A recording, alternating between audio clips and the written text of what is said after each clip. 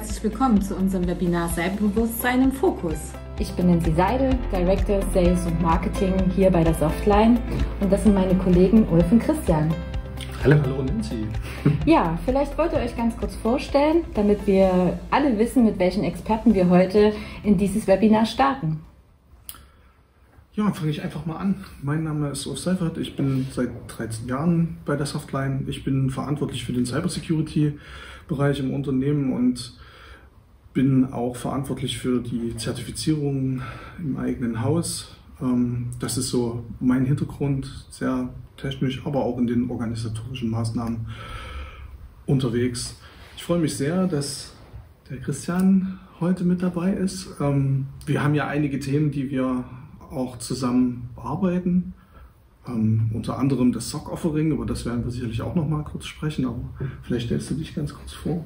Ich würde den Staffelstab einmal übernehmen. Vielen Dank. Ja, der äh, Christian Klaus Birkner, mein Name. Hallo, ich äh, freue mich, dass die Kollegen der Softline mich hier heute als externen eingeladen haben, dabei zu sein. Ähm, ich selber bin Teamleiter äh, der Digiforce für Threat Detection and Response. Bedeutet, mein Team übernimmt alles, was mit IT-Sicherheitsvorfällen zu tun hat.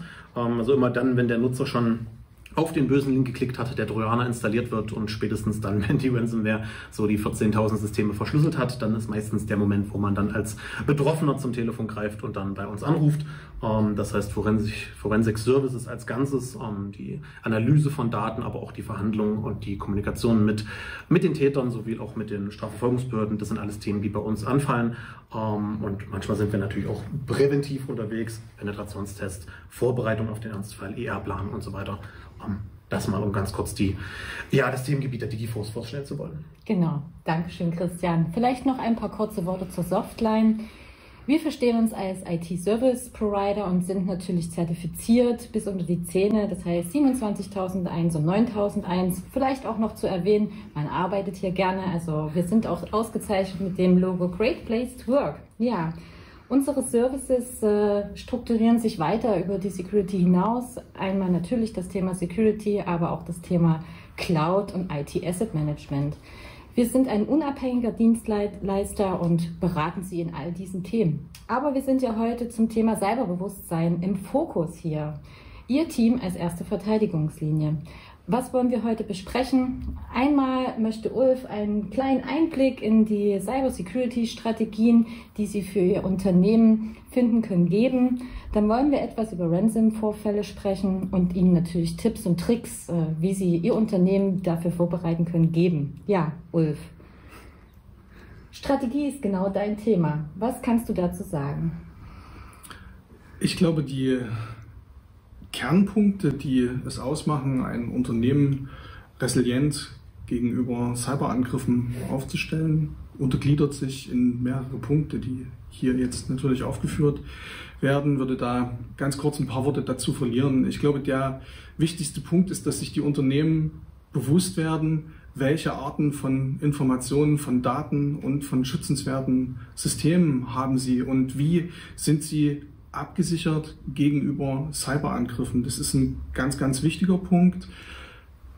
Nachfolgend ist sicherlich auch klar, dass mit Hilfe von Sicherheitsrichtlinien und sicheren Verfahren natürlich sichergestellt wird, dass über eine klare und verständliche Kommunikation und auch ähm, anwendbare Regeln dafür gesorgt wird, dass die Sicherheit im eigenen Unternehmen natürlich gestärkt wird. Und das ist ganz eng damit verbunden, dass ich meine Mitarbeiter mit ins Boot hole bei diesem Thema und das Bewusstsein gegenüber dem, was schief laufen kann. Und da werden wir heute noch ein bisschen ähm, gemeinsam drüber sprechen.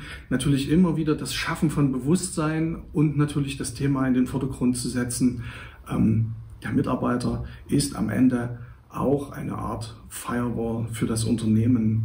Ähm, dazu gehören natürlich technische Möglichkeiten, indem ich für Transparenz in meinem Netz sorge, um natürlich zu sehen, was ähm, passiert denn eigentlich? Bin ich in der Lage, überhaupt zu erkennen, dass ich angegriffen werde? Das ist ein ganz, ganz wichtiger Punkt. Und wenn es dann soweit ist, muss ich natürlich in der Lage sein, mit Reaktionsplänen, Incidence Response als Stichwort, oder auch Notfallplanung mit so einer Situation umzugehen, um natürlich entsprechende Krisensituationen vielleicht auch schon mal durchgespielt zu haben. Also die ähm, sagen wir mal, die, dieses Zusammenwirken sozusagen von Technologie, von Menschen, von Lösungen, die ich zum Einsatz bringe und natürlich auch die Zusammenarbeit mit Partnern, mit Beratern oder auch mit ähm, Vorfallspraktikern ist am Ende ein ganz, ganz wesentlicher Bestandteil, den wir an der Stelle ähm, nutzen und den wir natürlich auch mit unseren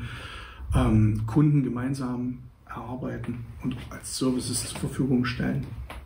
Ja, ich glaube, das sind ganz, ganz viele Themen, die man sich als Unternehmen irgendwie ähm, auf den Tisch schaffen muss.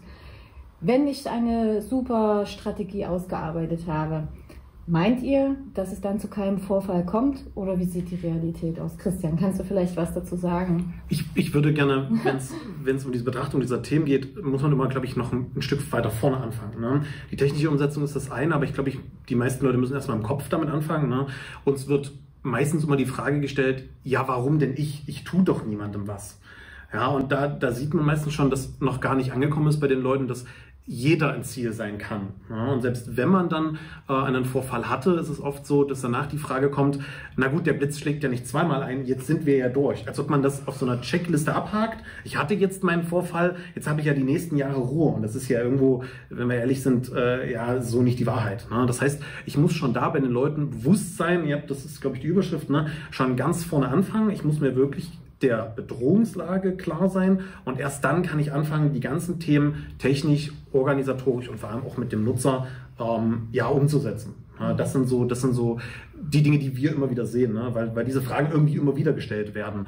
Und in der echten Welt ist es dann leider so, dass man eben manchmal durchaus angefangen hat, äh, sich eine teure Firewall anzuschaffen oder von mir aus auch ein gewisses Rechtekonzept sich überlegt hat.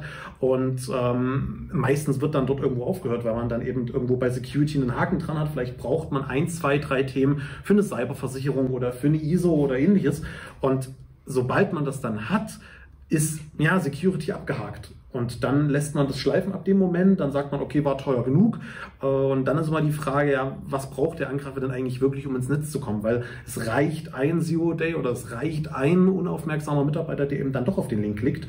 Und ähm, dann mag die Firewall ja, vielleicht das eine sein, aber vielleicht hätte ich mal noch irgendwie eine Application Whitelist gebraucht oder äh, na, so eine, wir reden ja auch mal von Security in Depth, ne, dass ich also verschiedene äh, Security-Mechanismen übereinander stabe, dass ich eben genau diese Einheit auch zwischen Nutzer und Technik schaffe und das kriege ich eben nicht hin, wenn ich das einfach nur als Haken sehe, den ich, den ich erledigen möchte und dann aufhöre an der Stelle. Ich möchte ganz kurz einen Punkt auch nochmal aufgreifen, den du gerade angesprochen hast. Das Thema nicht zu Ende gedacht. Investitionen werden getrieben in Technologien. Und was wir ganz oft sehen, ist natürlich am Ende das Personal, um einen sicheren Betrieb tatsächlich abzudecken, ähm, ist meistens eine Problemstellung, die bei der ganzen Planung eines Cybersecurity-Programms im Unternehmen meistens nicht ganz zu Ende gedacht wird. Wir sehen das in den Diskussionen mit unseren Kunden über den SOC-Service, den wir schon angesprochen haben, immer wieder, dass das eigentlich das größte Problem ist, dass das Personal gar nicht da ist, die Überwachungstätigkeit beispielsweise ja. auch durchzuführen an ja. der Stelle. Ja, vielleicht auch nochmal dazu zu fragen, es geht ja nicht mehr darum, ob man angegriffen wird, sondern wann wird man angegriffen. Und daher die Frage, was ist am Ende des Tages wirklich wichtig? Vielleicht könnt ihr unseren Zuhörerinnen und Zuhörern auch vielleicht ein paar Punkte geben, ähm, auf was sie wirklich achten sollten.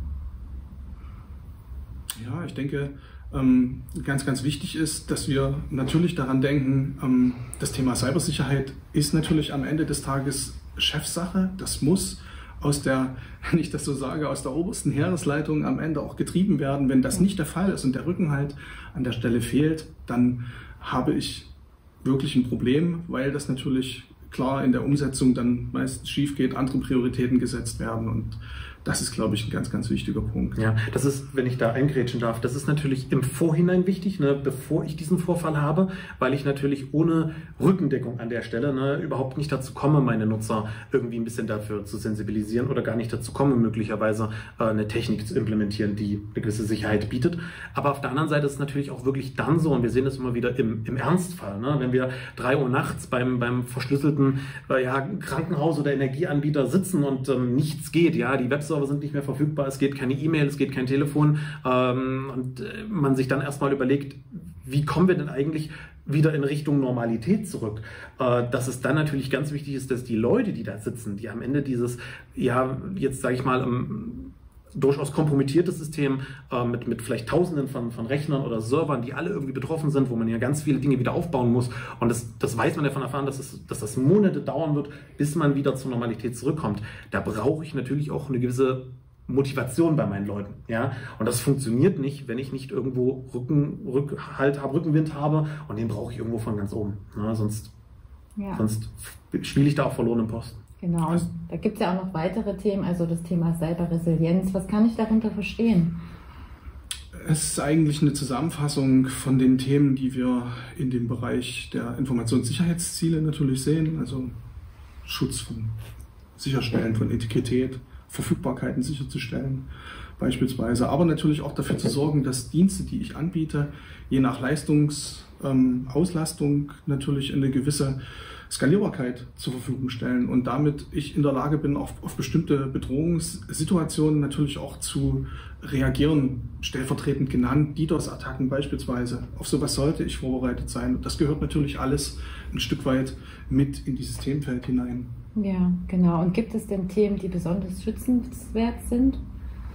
Also gibt es, äh, also wenn ich jetzt so einen Notfallplan habe, muss wahrscheinlich jetzt nicht äh, jeder Rechner und äh, jeder Server darin sofort Priorität 1 behandelt werden. Gibt es da auch Strategien, wie sowas aufgestellt wird im Sinne von die Kronjuwelen schützen? Also ich glaube, das gehört natürlich grundlegend dazu, wenn man sich auch die Forderungen aus der jetzigen, sagen wir mal, Compliance oder Gesetzeslage anguckt, gucken wir in den Bereich Kritis, BSI, SIG 2.0 oder auch die Forderungen, die aus NIS 2 am Ende hervorkommen, ähm, geht es natürlich darum, dass jedes Unternehmen die Aufgabe hat, für sich festzustellen, was sind denn eigentlich meine schützenswerten Assets. Wir haben da vorhin auch schon ganz kurz drüber gesprochen und das ist, glaube ich, der wichtigste Punkt, dort mit technischen Maßnahmen, ob es Segmentierung ist, ob es ein IDR-System oder IDS-Systeme am Ende sind, technologisch dafür zu sorgen, dass diese geschützt sind und vielleicht auch, ich vorhin schon gesagt habe, segmentiert und damit vielleicht auch voneinander abgeschirmt sind. Aber ich glaube, wichtig ist auch, dass man sich genau darüber Gedanken macht, wie schütze ich denn diese Daten selber und die Idee sozusagen, Daten tatsächlich auch zu verschlüsseln, um damit Vorsorge zu treffen, dass sie natürlich nicht exploriert werden und via verschiedene Angriffe tatsächlich auch darauf auszielen oder abzielen, natürlich Informationen abzuziehen, damit eine Erpressungsgrundlage zu setzen. Ich glaube, das ist eben auch ein wichtiger Punkt, den man bedenken sollte und kann, ich weiß nicht, wie du das siehst, Christian, kann ja, aber unbedingt. aus meiner Sicht auf jeden Fall sehr, sehr hilfreich sein, um sich dieser Erpressung durch abgeflossene Daten zu widersetzen. Ja, unbedingt. Wir, wir werden nachher nochmal ins Thema Ransomware ein bisschen einsteigen, aber ähm, ich würde ganz kurz noch zum vorhergehenden Punkt, die Kronjuwelen, ne, das ist ja so die Überleitung, ne, wenn wir gerufen werden zum Sicherheitsvorfall als Forensiker, ist das Erste, was wir immer tun, natürlich uns die, die wichtigsten Systeme angucken, ne, weil auch dem Angreifer ist natürlich ganz klar, dass er hier, und wir werden es bei Ransomware nachher nochmal aufgreifen, ähm, die Systeme am ehesten kompromittieren wird, die eine gewisse Wichtigkeit, eine gewisse Relevanz fürs Unternehmen haben. Das heißt, dort, wo unternehmensrelevante Daten liegen, wo vielleicht Gehaltsabrechnungen, mitarbeiterrelevante Dinge liegen, die Postfächer, alles möglicherweise Datenbanken, je nachdem, womit das Unternehmen arbeitet. Ne? Wir sehen auch immer wieder äh, Patientendaten in solchen Fällen. Äh, alles, was eine, eine, hohe Relevanz hat, ist für den Angreifer wichtig, insbesondere bei Ransomware, weil wir heute von, bei dieser Double Extortion davon sprechen, dass man eben auf zwei Seiten erpresst wird. Also einerseits durch äh, das Verschlüsseln der Daten, aber andererseits durch das Exfiltrieren der Daten außerhalb. Ne? Die Angreifer nehmen diese Daten dann mit. Und wenn ich hier schon dafür sorge, dass meine Systeme A gesichert sind und B meine wichtigen Daten vielleicht in einem Format vorliegen, mit dem der Angreifer gar nichts anfangen kann, beziehungsweise wenn er sie dann hochlädt und mit der Öffentlichkeit teilt über das Darknet, dass die Öffentlichkeit dann damit nichts anfangen kann, ne? dann bin ich den, dieser ganzen Erpressung schon einen ganzen Schritt voraus, weil ich einfach an der Stelle ja, mich nicht mehr erpressbar mache, weil ich sage, gut, Jetzt sind die Daten vielleicht online, aber es kann sie eh keiner ansehen. Ja, damit kann ich mich durchaus absichern. Ja, und wie gesagt, die forensischen ersten Schritte, die wir tun, äh, sind immer, sich erstmal die relevanten Systeme anzuhören. Da gehört sowas wie ein File-Server dazu, da gehört sowas wie ein AD mit dazu. Ähm, da gehören natürlich auch die exponierten Systeme dazu. Was habe ich denn alles, was extern erreichbar ist? Steht möglicherweise in der DMZ.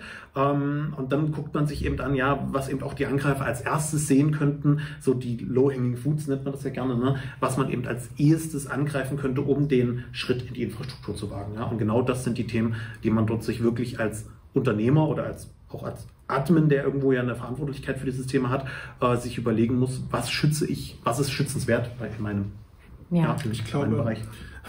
Um die hier nochmal ganz kurz auch einzuhaken, ich glaube, es gibt natürlich so ein paar grundlegende Sicherheitsbasics, die heutzutage jeder natürlich auch einhalten sollte.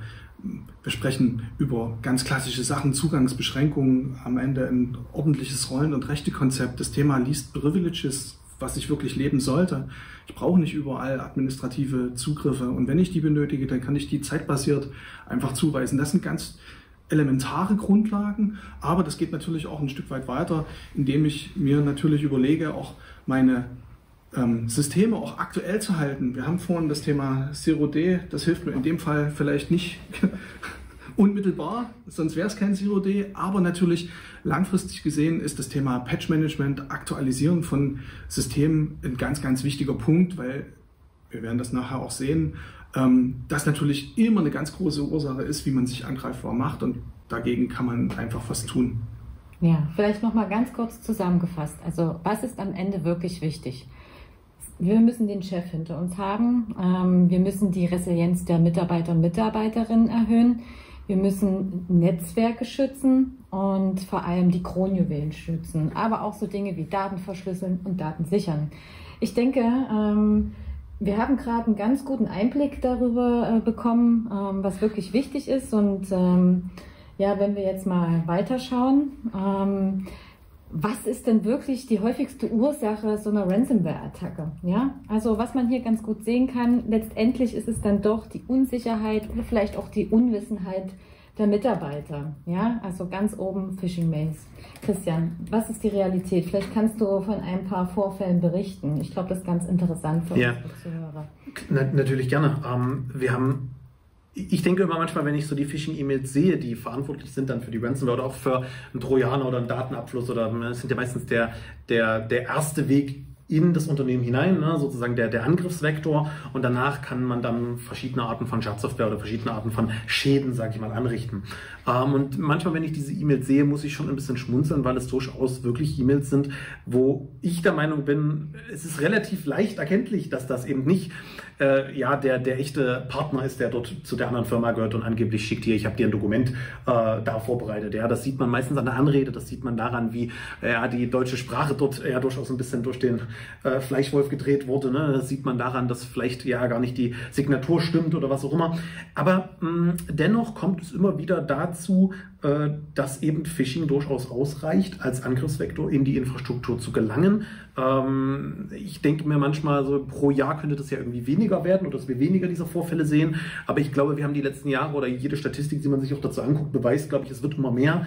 Ähm, und damit kommt natürlich auch dem Nutzer immer mehr die Verantwortung zu, ja, hier ja doch ein bisschen als als eine, ja, wir haben das vor uns mit den Schichten, hatte ich das schon angesprochen, als eine Schicht der Cyberverteidigung eben doch zu agieren. Das ist leider so. Ne? Wir sind irgendwie darauf angewiesen, äh, dass die Nutzer hier geschult sind, dass die Nutzer wissen, worauf sie klicken ähm, und dass die Nutzer eben auch die Möglichkeit haben, ähm, ja, so sowas zu erkennen. Ne? Natürlich darf das nicht die einzige Fähigkeit sein. Ne? Wenn, wenn der Nutzer auf den Link klickt und gibt seine Zugangsdaten ein oder der Nutzer lädt das Dokument runter, muss dann eigentlich auch immer eine Technik vorhanden sein. Ne? Das muss so ein bisschen ineinander greifen zugreifen, dann muss eine Technik da sein, die beispielsweise erkennt, okay, dieses und jenes Format, ja, JavaScript beispielsweise oder ISO-Dateien, also das du als normaler Nutzer der Buchhaltung, du musst das nicht öffnen können. Ne? Das sind so Klassiker, wo ich dann immer sage, das hätte man so leicht über eine Gruppenpolicy ausrollen können und verhindern können. Ähm, und dann fehlt es manchmal dort eben auch an der Technik. Aber ja, der Nutzer ist heute leider das Einfallstor Nummer eins. Ja. Ich denke, begleitet kann das natürlich durch vernünftige Security Policies sein, die natürlich genau solche ähm, Themen adressieren, indem ich natürlich äh, tatsächlich vorgebe, welche ausführbaren Dateien hat denn ein Nutzer ähm, oder kann ein Nutzer tatsächlich ausführen. Thema aktive Inhalte, da haben wir jetzt nicht drüber gesprochen, Makros.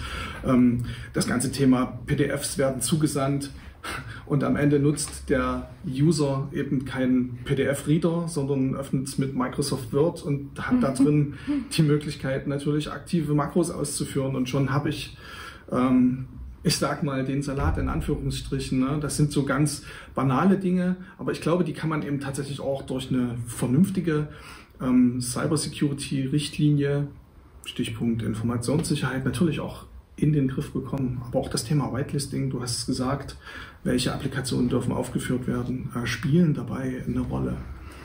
Ja, und ich glaube auch durch KI wird das ganze Thema äh, nicht viel einfacher. Ich glaube, wenn man ChatGPT fragt, ähm, bau mir mal eine schöne Phishing-Mail, wird es erstmal sagen, nein, das darf ich nicht. Aber ich glaube, wenn man das anders promptet, dann kommt man relativ schnell dazu. Oder bau mir mal schnell einen Screen von der Personalsoftware nach. Ja, und ich glaube, es wird immer schwieriger, solche äh, Themen auch als User zu erkennen. Deswegen sind regelmäßige Schulungen wahrscheinlich das Allerwichtigste dabei, oder Ulf? Also ich glaube ja, dieses, dieses Bewusstsein für das, was tatsächlich passieren kann, gerade, ich sehe das hier gerade an dieser Folie auch nochmal, die Kombination natürlich von dem ersten Punkt und von dem letzten Punkt ist natürlich komplett kritisch. Du hast es angesprochen. Phishing-Mail, gut gemacht. Beispiel OneDrive-Link, zu einer Seite, die ich mit einer, ich brauche noch nicht mal eine KI dazu, aber geht wahrscheinlich schneller, um die nachzubauen und natürlich dort Authentisierungsmechanismen hervorzurufen, die dem Nutzer komplett in seinem Alltags, ähm, in seinem Arbeitsalltag natürlich bekannt vorkommen und er natürlich da steht und sagt, huch, ja, die URL sieht jetzt so schlimm nicht aus und der gibt seine Informationen, seinen Username und sein Passwort ein. Am Ende könnte man jetzt sagen, ja, verloren, sind wir wieder bei der Thematik mehr ähm, stufiges Verteidigungskonzept oder Sicherheitskonzept. Jetzt hilft natürlich an der Stelle eine MFA ein Stück weit, um das Gröbste zu verhindern. Aber wie gehe ich denn damit auch um? Wie erkenne ich beispielsweise, dass ähm, Credentials abhanden gekommen sind? Wie reagiere ich nachfolgend darauf? Kann ich das bewerten? Kann ich den User dazu bringen, dass er sein Passwort gegebenenfalls nach so einem Sicherheitsvorfall auch ändert. Und das sind natürlich alles Themen, ähm, die sind, die liegen viel, viel tiefer. Ne? Das hat wieder was mit ähm, Transparenz und Nachvollziehbarkeit zu tun. Und da sind wir auch wieder bei dem Punkt, ähm, wer in der Administration hat am Ende Zeit, genau das nachzuvollziehen. Und das ist etwas, was wir, glaube ich, gemeinsam immer wieder sehen, dass das ein ja, eine Problemstellung ist, die es zu lösen gilt. Ja, zumal Passwort ändern ja jetzt auch nicht, ich sag mal, mal eben. Ne? Je nachdem, was du für Applikationen hast, wo der Nutzer überall ist, kann ich alles mit einem zentralen AD verwalten und habe für jede Anwendung SSO. Mag das einfach sein. Ne? Habe ich ganz viele eigene Anwendungen, wo die Nutzer eben noch eigene Passwörter haben, vielleicht auch ihre Passwörter äh, wieder benutzen. Ne? Wir kennen das auch ganz oft, dass äh, Passwörter einfach hochgezählt werden. Vielleicht gibt es überhaupt keine unternehmensweite Passwort-Policy. Wo werden diese Passwörter denn gespeichert? Ne? So der Klassiker mit dem mit dem Zettel unter der Tastatur oder so. Ne? Biete ich meinen Nutzer dann irgendwie einen Passwortmanager an, wo er sich sichere Passwörter generieren und abspeichern kann? Okay. Äh, oder habe ich halt nicht so ein Konzept. Ne? Also das sind manchmal so einfache Empfehlungen von, ändert mal schnell die Passwörter von 1, 2, 3 betroffenen Nutzern. Aber dieser, dieser Rattenschwanz hinten dran, was das eigentlich bedeutet und dass ja das Passwort eben mal schnell ändern vielleicht auch nicht äh, die Sicherheit eher langfristig vielleicht gewährleistet. Ne? Das ist immer so eine Sache. Und wenn wir dann uns noch ein bisschen weiter angucken, äh, wir sehen auch immer wieder das Problem mit Bring Your Own Devices, ne? wo man also Geräte hat, wo der Nutzer auch äh, einen privaten Bereich hat, wo er selber sich auf verschiedenen Webseiten angemeldet ist, wo er beispielsweise im Webbrowser auch in seinem Gmail-Account oder Web.de-Account angemeldet ist, darüber vielleicht auch Phishing-E-Mails öffnet. Das heißt eigentlich gar nicht im Arbeitszusammenhang, aber dennoch auf einem Gerät, das im internen Netz ist. Und dann öffnen wir natürlich dadurch noch eine ganz andere Welt der, des Zugriffs sozusagen. Und dann ist es natürlich als Firma ganz schwer, irgendwie äh, dort dem Nutzer vorzuschreiben, was machst du mit deinen Passwörtern. Ne? Oder nimm doch bitte mal für deinen privaten E-Mail-Account ein anderes Passwort, als du das für unseren, äh, ja, im Unternehmen den nutzt. Ne? Das nachzuvollziehen ist ja sehr, sehr schwer. Ne? Und das ist eine Riesenaufgabe, der man wo man dann auch eine Policy braucht, um zu gucken, wie, wie kann ich da eigentlich eine Einheit schaffen und eine Sicherheit schaffen. Ich glaube aber, was für unsere Zuhörer und Zuhörerinnen ganz wichtig ist, den Mitarbeiter mitzunehmen. Ich glaube, für den Mitarbeiter ist es ganz oft listig, genau ja. diese Dinge zu tun. Ja, und ich glaube, für viele ist das die Herausforderung, auch das Bewusstsein zu schaffen. Ja, du musst jetzt alle sechs Wochen dein Passwort ändern. Und ja, Zero Trust heißt, du musst dich jedes Mal, wenn du dich anmeldest, äh, auch das nochmal bestätigen. Aber dass es nicht lästig ist, sondern dass es wichtig ist. Und ich glaube, das ist super schwer, das in die Köpfe äh, der Mitarbeitenden äh, äh einzubringen. Ja. ja. Ein, äh, ein, ein, Thema an dieser Stelle ist, wie gesagt, nicht nur die dass, dass man eben irgendwo ein bisschen diese Freiheit, ne, ein vierstelliges Passwort 1, 2, 3, 4, dass man das eben aufgibt für ein hohes Maß an Sicherheit. Das muss irgendwo in die Köpfe. Und das Zweite ist natürlich auch, dass man diesen Schuldaspekt weglässt. Ne? Wir haben immer wieder das Problem äh, nach so einem Phishing-Vorfall oder allgemein nach einem Sicherheitsvorfall, dass wir gerade auch vom, vom Sieve-Level gefragt werden, wer war denn schuld? Und dann ist es ganz schwierig zu sagen, ja, das ist Mitarbeiter XYZ, der auf den Link geklickt hat, weil das spielt eigentlich überhaupt gar keine Rolle. Ja, das ist völlig egal, welcher Mitarbeiter es am Ende war. Und, und ähm, das ist auch ganz wichtig, dass man das, dass man das den Leuten klar macht. Dass man zum Beispiel, wenn man denn auf so einen Link geklickt hat, das kann den Besten passieren. Ne? Die E-Mails sind gut gemacht oder die E-Mails kommen zum Beispiel auch. Ähm, ja, wir hatten von uns KI, aber äh, es ist ja noch einfacher, wenn ich zum Beispiel jetzt eine Partnerfirma, die ich seit Jahren kenne, ne, stell dir vor, du hättest, dein, dein Konto wäre kompromittiert, dann nimmt man ganz klassisch dieses Schneeballsystem, ne, ich nehme das eine Konto ähm, und schreibe in dessen Name eine E-Mail an alle möglichen Kontakte. Das heißt, ich kriege jetzt also diese E-Mail vom Ulf, der gar nicht mehr der Ulf ist, ne, ähm, dann habe ich natürlich schon ein gewisses Vertrauensbonus. Ne? Ich als Nutzer denke ich schon eher, okay, das ist eine echte E-Mail, einfach weil ich den Absender kenne. Und jetzt kann natürlich auch die Firewall oder, oder das, das Mail Gateway äh, erkennt jetzt vielleicht nicht, dass das jetzt ein Problem ist, weil das ja eine echte E-Mail von einer echten IP-Adresse ist und dadurch wird die auch zugestellt.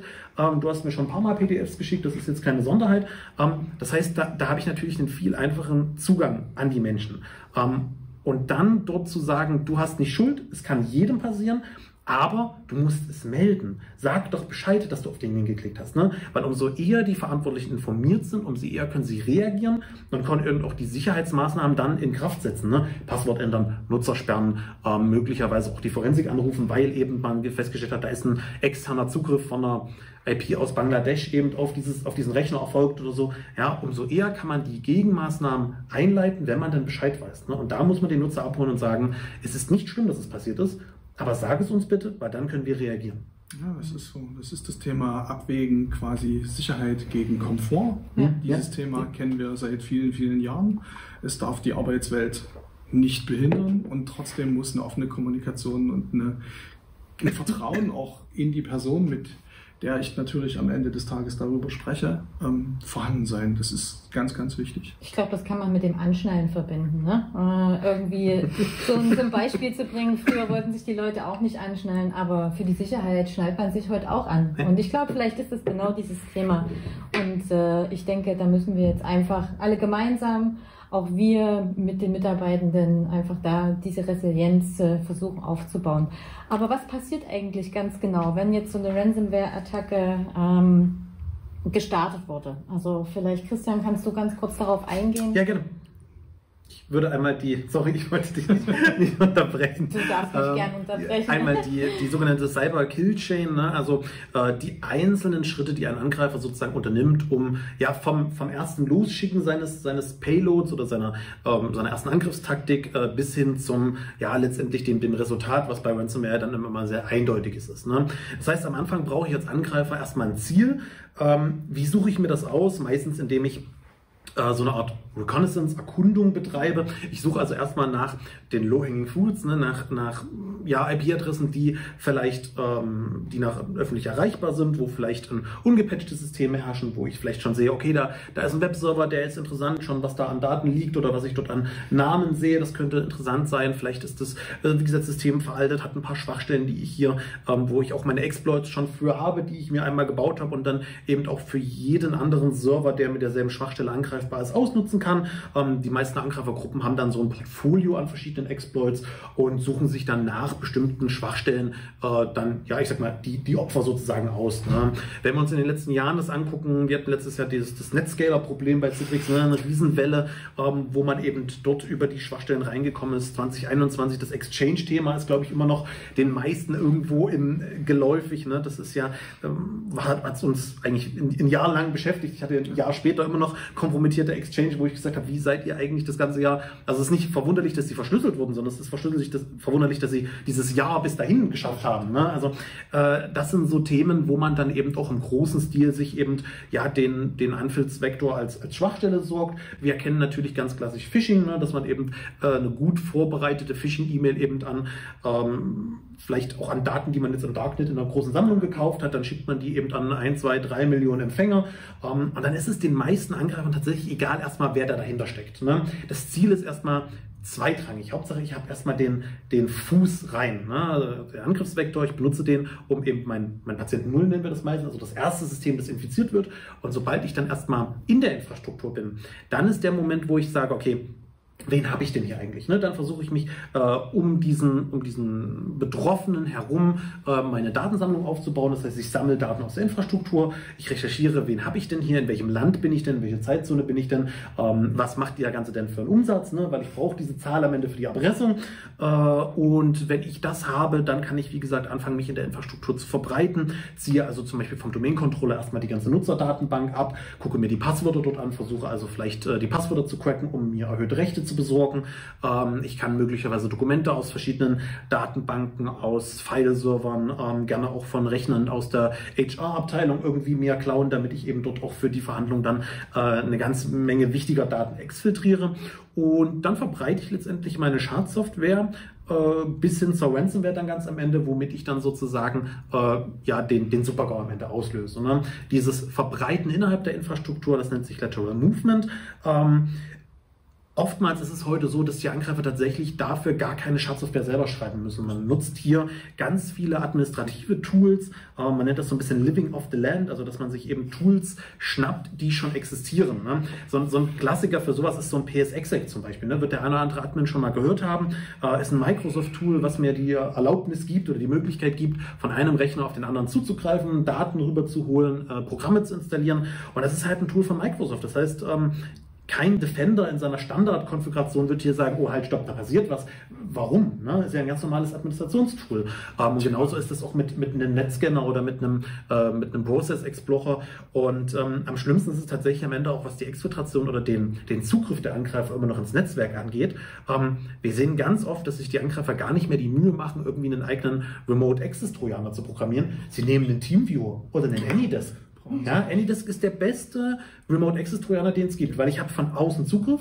Ich muss mich eigentlich gar nicht um die Infrastruktur kümmern, weil das Programm ist schon programmiert. Ich kann es kostenlos runterladen, ich installiere das. Ich habe meinen Zugriff festgelegt mit Nutzernamen und Passwort ähm, und ich kann das auch nutzen, um eben Daten rüber zu kopieren. Dauert eine Weile, okay, aber wenn ich als Angreifer es schaffe, relativ unbemerkt zu bleiben, habe ich äh, ein, zwei, drei, vier Wochen Zeit, um meine Daten zu exfiltrieren. Und im allerletzten Schritt ist dann wirklich, wo ich diese Daten vernichte oder verschlüssele, also meine Ransomware ausrolle und dann sozusagen äh, ja, die Infrastruktur komplett eigentlich in ihrer Funktion einschränke. Und das passiert dann meistens irgendwie an einem Freitagabend oder Samstag früh. Äh, und montags morgens ist es dann vielleicht die Assistentin vom Chef, die eigentlich technisch gar keine Ahnung hat. Aber das ist bei Ransomware überhaupt nicht das Problem, weil die Ransomware ja in jedem Ordner, auf jedem Desktop-Hintergrund, wir nennen das heute auch Print-Bombing, wenn man aus dem Druckern hundertmal diese Notiz ausdruckt, damit wirklich jemand, der technisch überhaupt wirklich ein völliger Laie ist, trotzdem versteht, oh, wir haben da ein Problem. Ja. Also, danke Christian. Ulf, äh, vielleicht kannst du noch mal berichten. Ich würde eine Ergänzung an der Stelle machen. Christian hat das wunderbar ähm, erklärt. Die eigenen Werkzeuge, die im Netzwerk vorhanden sind, Thema PowerShell ist für mich so ein Thema, ähm, was man sich wirklich ähm, genauer angucken soll. Es oder sollte an der Stelle. Es gibt Mechanismen, sich natürlich dort auch Stichpunkt Software Signing, Script Signing natürlich auch abzusichern, um natürlich zu verhindern, dass ich mit diesen bordeigenen Mitteln mir eigentlich den Weg zu den Daten oder auch hinaus erstmal erarbeite. Und ich glaube, das sind so ganz kleine, ähm, du hast es vorhin gesagt, Low-Hanging Fruits, die ich angehen kann. Die werden gesehen, aber leider Gottes werden sie nicht konsequent angegangen, weil sie natürlich einen gewissen Impact auf den Aufwand, den Betrieb und natürlich die ähm, Integration einer solchen Lösung in die Infrastruktur mit sich bringen. Und das ist etwas, wo ich einfach denke, da muss auch ein Umdenken an der Stelle stattfinden. Ja.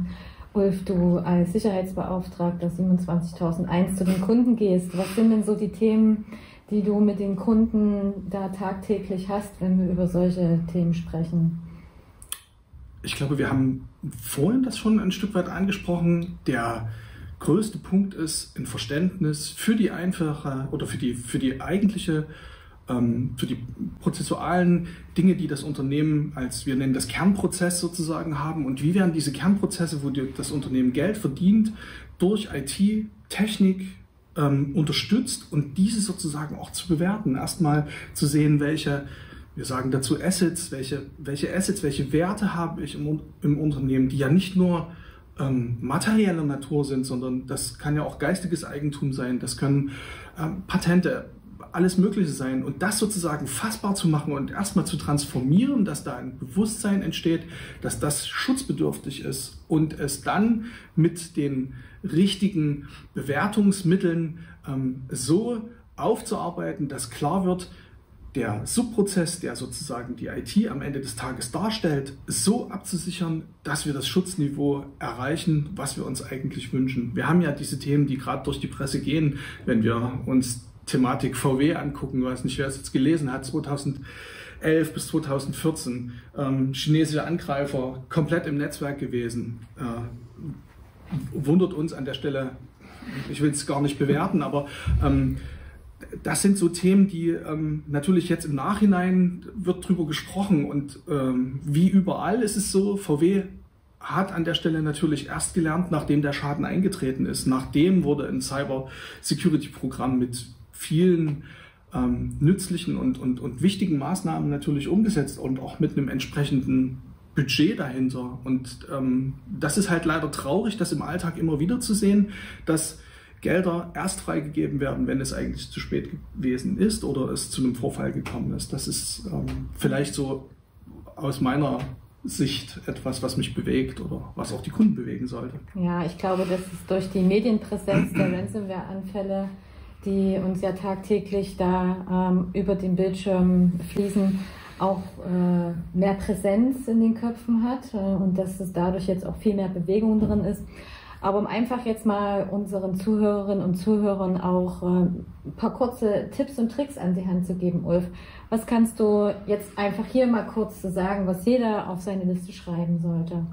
Ja, ich glaube also das Thema, was wir schon angesprochen haben, ähm, immer skeptisch zu sein, wenn ich Dateien vielleicht mit aktiven Inhalten, das ist für den normalen Benutzer sicherlich schwer zu erkennen, ob jetzt eine PDF-Datei aktive Inhalte äh, besitzt, aber es gibt technische Möglichkeiten, die es mir erlauben, natürlich im äh, Datei-Header schon dafür scanning-technisch zu sorgen, dass diese gar nicht erst zugestellt werden. Quarantänekonzepte, die eigentlich bekannt sind, die ich nutzen kann im Unternehmen, um natürlich dort eine doppelten, einen doppelten Boden sozusagen für ausführbare Dateien an der Stelle zu machen. Dass jemand jetzt eine Excel-Datei durch die Gegend schickt, ich denke, das ist durch heutige Mailsysteme eigentlich fast nicht mehr möglich, weil die sowieso unterbunden werden.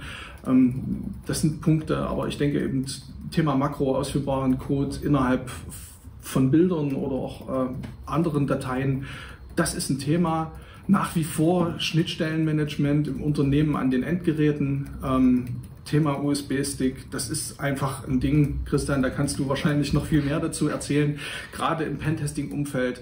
Das typische Thema USB-Stick im Parkhaus verteilt und wir wissen, was damit passiert.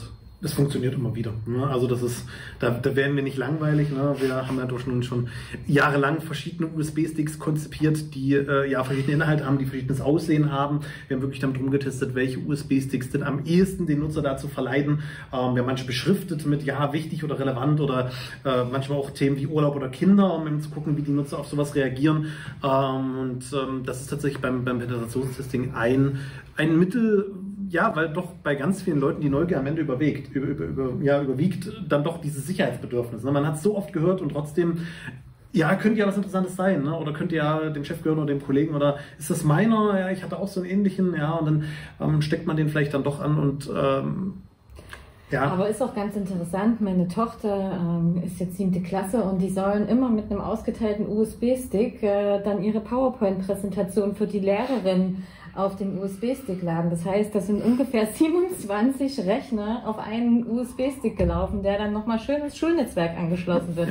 Also ich glaube, das ist auch eine ziemlich erfolgreiche Strategie. Ne? Also da auch die Lehrerinnen und Lehrer darauf aufmerksam zu machen, dass das vielleicht keine so gute Idee ist. Ne? Ja. Aber ja, nur noch eine kurze Anekdote aus Real Life. Ja, ähm. ja. aber das ist ja, wie gesagt, wir können USB-Sticks nicht verbieten. Ne? Also wir benutzen die, ihr benutzt die, das ist jetzt nicht so, als ob wir jetzt per se sagen, das ist was Schlechtes. Ne? Man muss sich einfach nur dieser, da sind wir wieder beim Thema Bewusstsein, man muss sich dieser Gefahr ein bisschen bewusst sein. Kann ich es denn vielleicht alternativ lösen? Und B, habe ich denn aber technische Möglichkeiten, die eben vielleicht dafür sorgen, äh, dort eine Gefahr zu minimieren? Ne? Sei es beispielsweise einfach eine EDR-Lösung auf dem Schulrechner, der dann einfach, sobald der USB-Stick angeschlossen wird, die Daten erstmal scannt. Ne? Der vielleicht sagt, okay, PDF mag sein, äh, hat Makros, okay, dann müssen wir schon unterscheiden, was ist das Ganze. Ja. Ne? Und dann kann man möglicherweise immer noch sagen, okay, wird freigegeben oder ja, wurde in Quarantäne verschoben. was mache ich jetzt? Ja, die, das Kind muss nächste Woche nochmal kommen mit einer neuen Präsi ohne, ohne Makros. Wie gesagt, es gibt für manche Dinge keine perfekte Lösung. Das muss man dann auch manchmal ein bisschen abwägen. Aber wie gesagt, dass man zumindest die Awareness hat oder vielleicht zumindest die Technik dahinter hat, die dann sowas überprüft. Und Schulen sind natürlich auch immer so ein, äh, ein Thema, wo wir wissen, dass ich sag mal, sowohl an Personal als auch, also Ressourcen in jeder Art, sowohl personell als auch technisch dort, ja, sagen wir mal, Luft nach oben. Ne? Das, das, ist einfach so. Das hast du sehr nett formuliert. Ja, ja, ja. ist ja kein Geheimnis. Ne? Und das, das, wissen die Schulen auch, das ist denen ja klar. Ne? Ähm, aber wo soll es herkommen, wenn nicht von oben? Ne? Ja, genau, und da sind wir wieder äh, beim Thema Chefsache. Mhm. Aber einfach nochmal äh, weiterzugehen, um die Checkliste auch noch äh, weiter zu erweitern. Was können wir denn sonst noch tun, außer vielleicht USB-Sticks jetzt nicht überall anzuschließen? Ja. Ich denke, das ist auch heute schon ähm, herausgekommen. Natürlich ist das Thema Datensicherung ein ganz, ganz wichtiger Aspekt, der relevant ist. Und wie wir ja heute gelernt haben, die Verbreitung innerhalb des Netzwerkes ist ähm, eben bei einem Ransomware-Angriff ähm, eigentlich das tödlichste ähm, Thema, was wir an der Stelle haben. Deshalb ähm, kann man immer darauf setzen oder muss eigentlich darauf setzen, dass die Backups immer offline gelagert bzw. auch durch Netzwerksegmentierung ähm, tatsächlich abgeschottet sind und in einem sicheren Bereich liegen, weil das eigentlich die einzige Chance ist, um am Ende mit einem vernünftigen Backup- und Wiederherstellungskonzept so einen Vorfall auch relativ mit leichten Füßen, ich ja. nenne es mal so, ja. überleben zu können. Ja, also aus der Erfahrung, wenn man äh, sich so einer Ransomware gegenüber sitzt und hat ein funktionierendes Backup, Konzept weiß, dass man nicht kompromittierte Backups hat. Wir gehen dann meistens ein, zwei, drei, vier Wochen zurück, weil wir ja wissen, dass die Angreifer in dieser Zeit schon im Netz fahren. Ähm, ist es aber trotzdem so, dass man ganz anders in eine Verhandlung geht, ganz anders in eine Wiederherstellung gehen kann, mit viel weniger Druck, mit viel effizienter und schneller, weil man einfach weiß, ähm, ja, was man, was man eigentlich noch in der Hintergrund hat und nicht eigentlich komplett neu aufbauen muss. Ne? Das ist äh, sehr hilfreich und ähm, ja, wie gesagt, ist natürlich am Ende auch kosten- und, und personaleffizient dann, dann dort wieder auf dem Weg der, der Rückkehr sozusagen. Ja. Nancy, du hast es angesprochen, die Basics, würde ich jetzt sagen, die eigentlich zu einem vernünftigen IT-Sicherheitskonzept in einem Unternehmen gehören, sind eigentlich die Tragpfeiler, über die wir hier an der Stelle sprechen müssen. Das Thema Netzwerkinfrastruktur, ich hatte es schon mehrfach gesagt, das Thema Segmentierung, wie kriege ich sozusagen Grenzen, das Netzwerk eingezogen, damit ein Übergriff nicht möglich ist, ich eine Risikominimierung durchführe. Das Thema immer wieder Least Privileges, das ist wirklich das A und O. Das hilft nicht gegen alles, aber es ist natürlich eine enorme Hilfe, wenn man sich Angriffsszenarien anschaut, wie ich es verhindern kann, um rechte Eskalation am Ende zu vermeiden. Ja. Ja, dann, wir haben schon drüber gesprochen. Ich denke, wir müssen jetzt nicht alle Themen Aktualisierung von Softwareprodukten Ganz patchen, patchen, patchen, patchen, patchen, patchen. Mitarbeiter sensibilisieren, sensibilisieren, sensibilisieren. Und das vielleicht auch mal mit anderen Ansätzen. Ähm, äh, das Thema Gamification vor zwei, ein, zwei Jahren eigentlich so durch die Medien getrieben. Wir haben uns solche Sachen angeschaut. Das ist mal ein ganz anderer Ansatz, um Bewusstsein, einen Rollentausch auch vorzunehmen. Vielleicht einfach mal hinzugehen und zu sagen, Mitarbeiter, du bist jetzt in die Lage versetzt, ein Hacker zu sein und du ja. hast die und die Ziele zu verfolgen. Das sind alles Dinge, die natürlich auch nochmal eine zusätzliche, ne, nicht nur diesen Spielfaktor, aber auch ein Stück weit Motivation und Aufmerksamkeit mitbringen. Über solche Dinge kann man nachdenken, was das natürlich leichter macht für den Benutzer. Ja, oder so ein, so ein äh, Vorfallskalender oder Sicherheitskalender. Regelmäßig die Mitarbeiter ähm, mit Aufgaben versehen und kleinen Updates und Schulungen. Ne? Auch wenn Schulungen immer wieder, oh, wieder eine Schulung. Aber es vielleicht, wie du schon gesagt hast, ein bisschen netter verpacken und die Aufmerksamkeit dahin zu lenken. Ja, genau. Ich bin jetzt hier einfach mal ein Stück weit durchgegangen. Wir genau. haben diese Unterlagen werden zur Verfügung gestellt. Ich denke, wir müssen da nicht auf jedes Thema eingehen. Äh, interessante Ansätze nochmal auch über den Kalender, da werden wir sicherlich auch nochmal drüber sprechen. Genau, aber das ist noch ganz geheim.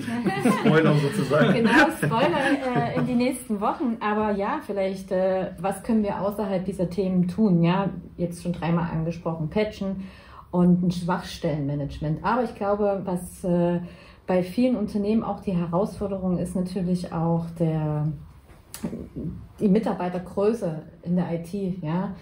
Ähm, dass es vielleicht auch äh, manchen, äh, manchen Administrator gar nicht zeitlich möglich ist, alle Systeme im Blick zu haben, ja.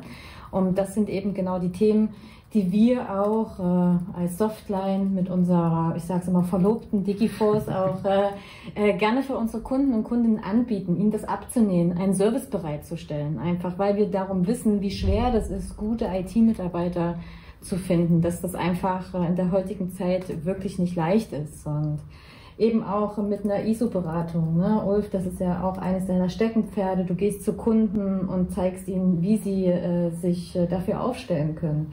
Damit angefangen, ja. Aber eben dann auch ganz hart ähm, Tests durchzuführen und eine Angriffssimulation in Form eines Pentests. Aber Christian, vielleicht äh, magst du noch was dazu erzählen?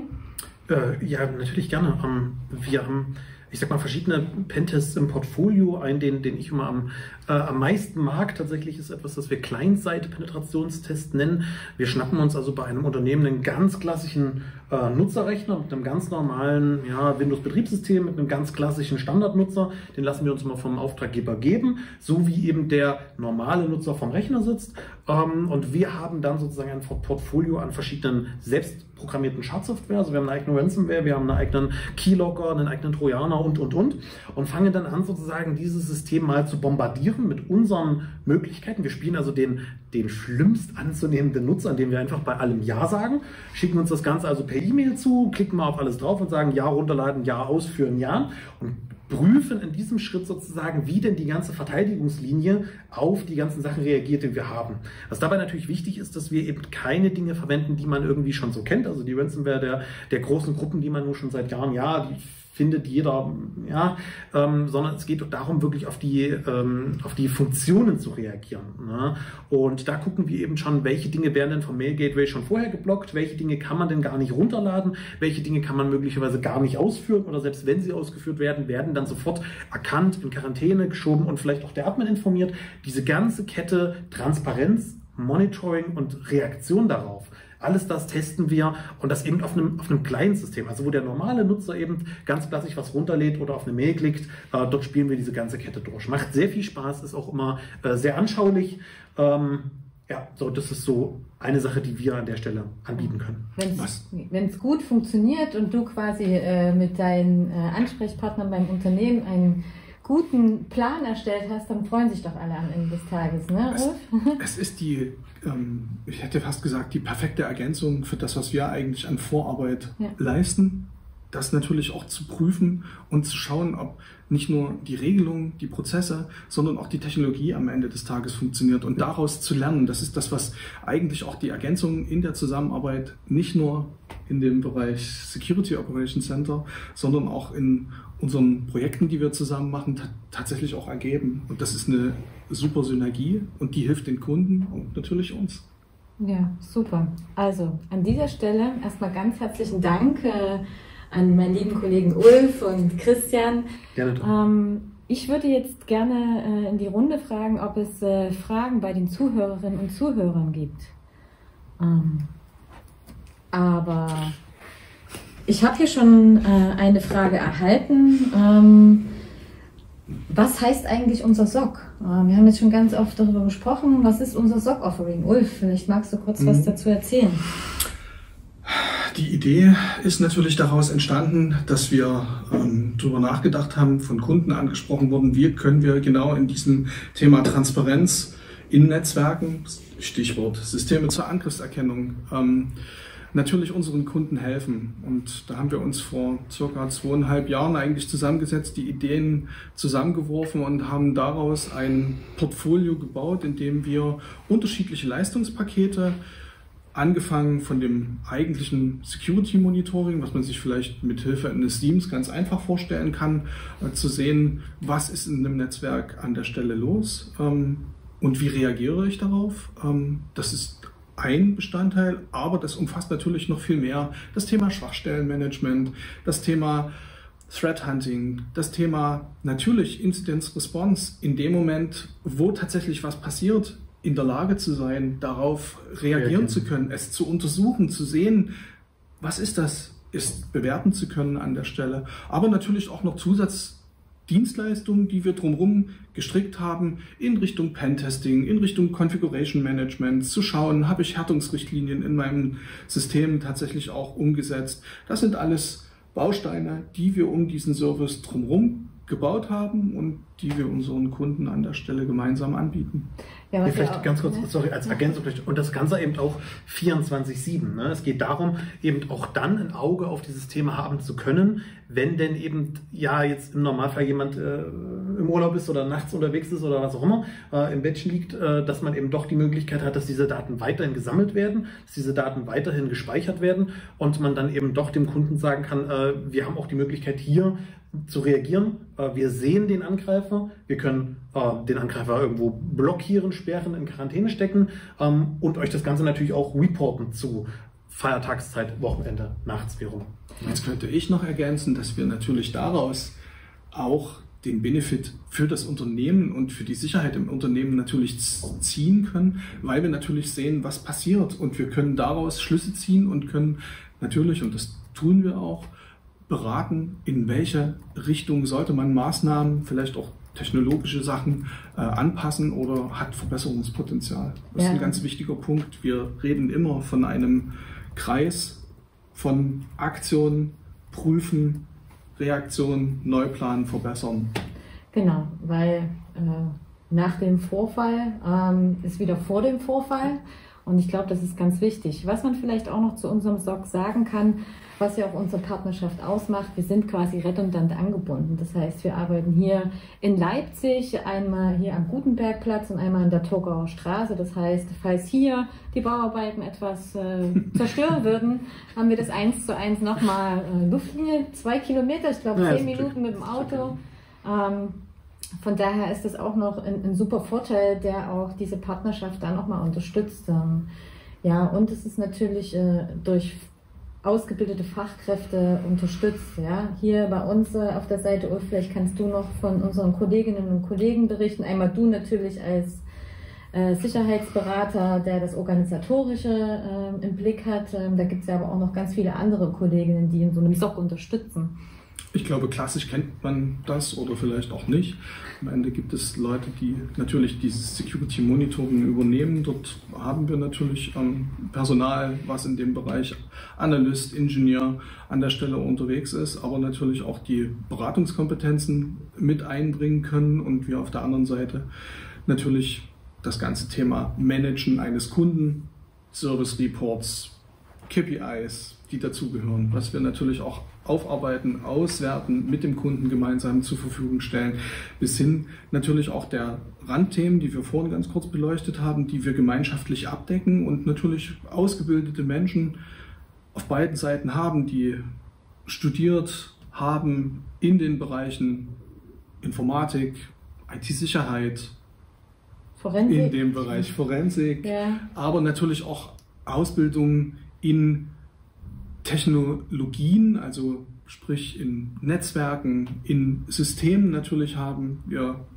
kommen aus dem Infrastrukturbereich, wir haben da ganz großes Know-how, ob das Netzwerke, um Systeme, äh, Storage, Backup, etc. geht. Und das ist natürlich ein Vorteil, den wir dazu einbringen können und natürlich durch die langjährige Beschäftigung mit dem Thema Informationssicherheitsmanagementsystem, Datenschutz, was wir natürlich ja auch beraten und wo wir unsere Kunden auch begleiten, fügen wir natürlich die Puzzleteile, die ich brauche, um eigentlich so ein gutes Security Operation Center für Kunden anzubieten oder auch es im eigenen Hause zu haben, fügen wir eigentlich das Wissen und die Menschen und die Technologie zusammen, um daraus eine runde Lösung anbieten zu können.